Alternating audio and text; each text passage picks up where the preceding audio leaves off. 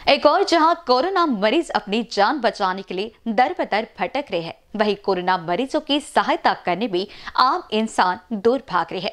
आज के हालात मुश्किल के दौर के होने के बावजूद कोरोना मरीजों को स्थिति में कोई मदद करने में सामने नहीं आने से उन्हें ना ही उचित इलाज मिल रहा है, ना ही कोई ध्यान देने वाला है।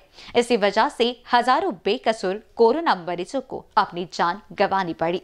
पार्श्वनी शहर में पिछले साल से एक युवक गौरव पनवेलकर बड़ी ही लगन से और अपनी जान की फ़िक्र न करते हुए कोरोना मरीजों की सेवा में लगा हुआ है। निरंतर सेवा करते हुए सुबह से ही कोरोना मरीजों को उचित इलाज मिले। इसलिए रोज़ाना निस्वार्थ भावना से मदद के लिए निकल पड़ते हैं। अपना काम छोड़ कोरोना मरीजों की सेवा में लगा है। बहुत से गरीब परिवार को अपनी ओर से आर्थिक मदद देती हुई कोरोना मरीजों का ध्यान रखा जा रहा है। वही पिछले साल एक लाख रुपए खर्च कर मजदूरों को अपने गाँव, शहर में सही सलामत पहुँचा दिया। रक्तदान, प्लाज्मा दान करते हुए मरीजों की जान बचाई है।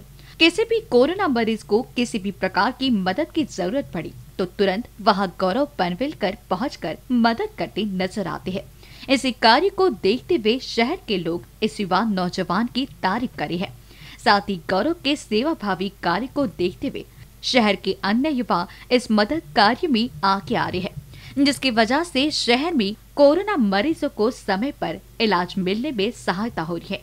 कोरोना को हराना है तो हम सबको एक दूसरे की मदद करना ही कोरोना बीमारी पर काबू पाया जा सकता है।